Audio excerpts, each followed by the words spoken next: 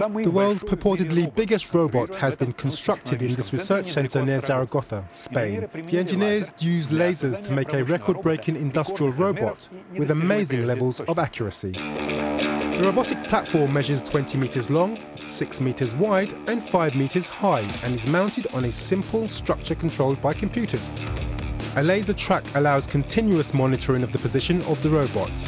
Laser beams create 1,000 scans per second to achieve high accuracy in the robot's performances.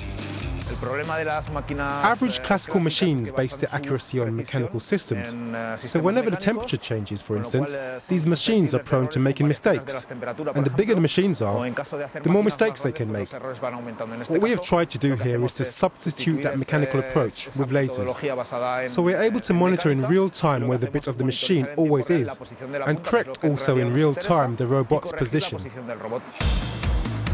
Researchers think the robot can stay accurate to within plus or minus 0.4 millimeters when working on 100 meter long parts.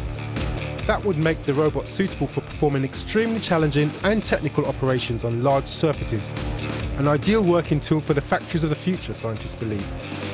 The system has been designed to allow accurate operations in drilling and milling, which are the most demanding factory operations from the point of view of accuracy.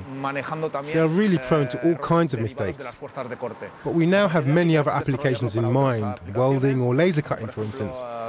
And we are currently working to transform the whole system into a huge 3D printer for both metal and non-metal industrial pieces.